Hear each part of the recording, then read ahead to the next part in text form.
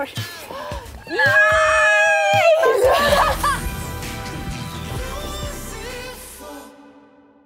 Ein Kuss wird gleich äh, sehr emotional, sehr leidenschaftlich und ich hoffe, es ist eine Magie spürbar.